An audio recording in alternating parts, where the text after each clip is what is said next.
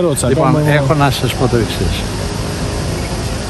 Ε, είχαμε έναν α, προεκλογικό αγώνα, ήρεμο, η οποία ένταση επεκράτησε σε κεντρικό επίπεδο, δεν πέρασε στον κόσμο, στη βάση και αυτό είναι, θεωρώ, εξόχως ε, θετικό ε, για τον κόσμο μας, για τον πολιτικό μας πολιτισμό.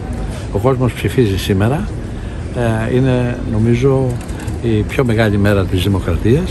Εγώ εύχομαι ε, τα αποτελέσματα που θα δώσει ο λαός μας να είναι τα καλύτερα δυνατά ώστε να κυβερνηθεί ε, η χώρα μας με τον καλύτερο δυνατό τρόπο. Φυσικά αυτό το οποίο ψηφίζει ο λαός πάντα είναι αποδεκτό από όλους μας, πρέπει να είναι αποδεκτό και να υποστηρίζεται από όλους μας. Η Περιφέρεια Πελοποννήσου έχει 1657 εκλογικά τμήματα. Ε, δεν έχω ειδοποιηθεί για κάποιο πρόβλημα σε κανένα από τα τμήματα αυτά και στους πέντε νομούς που ανήκουν στην ε, περιφέρειά μας. Ε, η- ομαλά εξελίσσεται σε γενικές γραμμές η κατάσταση. Στις 7 η ώρα το βράδυ θα έχουμε ακριβή εικόνα για το τι συνέβη ε, σε ολόκληρη την περιφέρεια Πελοποννήσου και θα γίνουν και σχετικές δηλώσεις στην Τρίπολη. Ε, όσον αφορά σε μένα, εγώ όπως ξέρετε είμαι αυτη- αυτοδιοικητικός σε όλη μου την αυτοδιοικητική και πολιτική πορεία. Έχω συγκεκριμένη ιδεολογική άποψη από την οποία δεν έχω αποστεί ποτέ και αυτό είναι ε, γνωστό σε όλους. Έχω υπηρετήσει τρεις θητείες ως Δήμαρχος Καλαμάτας. Τώρα είμαι Περιφερειάρχης και αποφάσισα σε συνεργασία με τους συνεργάτες μου να εκτεθώ και στην, εν- ε, στην επόμενη, στις επόμενες εκλογές που θα γίνουν στις αρχές Οκτωβρίου περίπου 150 μέρες από τώρα. Έχουμε οργανωθεί σχετικά, έχουμε έναν κόσμο τον οποίο θα τον παρουσιάσουμε όταν θα είναι ο, ο κατάλληλος χρόνος, όμως επισημαίνω ότι έχουμε 150 μέρες ε, μέχρι εκείνες τις εκλογές. Εν αναμονή του βραδινού αποτελέσματος, το οποίο θα κρίνει, σας το έχω πει πολλές φορές, και την πορεία των αυτοδιοικητικών πραγμάτων.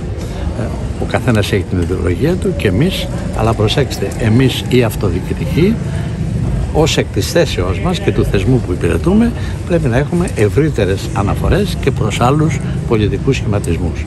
Και αυτό κάνουμε. Έχουμε ιδεολογία, αλλά υπάρχει και η αυτοδίκηση, αυτός ο τεράστιος θεσμός με τη δική του πορεία. Και αυτόν το θεσμό υπηρετούμε πρωταρχικά. Για ποιο λόγο επιλέξατε σήμερα να την κάνετε αυτή την ανακοίνωση και όχι αύριο που θα έχουν τελειώσει οι εκλογές; Δεν θέλω να απαντήσω σε ερωτήσεις, αλλά επειδή ρωτήθηκα θα σας το πω. Ε, επέλεξα τη σημερινή μέρα για να μην ε, κατηγορηθώ για κανένας είδους πολιτική ιδιοτέλεια. Ότι περίμενα τα αποτελέσματα και να εκφραστώ μετά από τα αποτελέσματα. Δεν ξέρουμε ποιο θα, ποια θα είναι τα αποτελέσματα, ποια θα είναι την πορεία του λαού. Τελείωσε η προεκλογική περίοδο, δεν μπλέχτηκα καθόλου στην προεκλογική περίοδο. Σήμερα, κάποιες ώρες πριν από την έκδοση των αποτελεσμάτων, ανακοινώνω ότι οργανωνόμαστε για τις εκλογές του Οκτωβρίου. Και βεβαίως υπάρχει και η δήλωση του Πρωθυπουργού, όλοι οι ενενεργεία περιφερειάρχες δικαιούνται να είναι υποψήφιοι. Σε αυτή τη γραμμή κινούμε και σας ενημερώνω ότι θα είμαι υποψήφιος. Ευχαριστώ πάρα πολύ και αναμένω τη συμπαράστασή σας. Δεν υποστηρίζετε κάθε φορά ότι περιμένετε εθνικές εκλογές. Ευχαριστώ πάρα πολύ. Σε συνεννόηση με τη Νέα Δημοκρατία είστε κύριε Περιφερειάρχη. Ευχαριστώ πάρα πολύ. Και εμείς.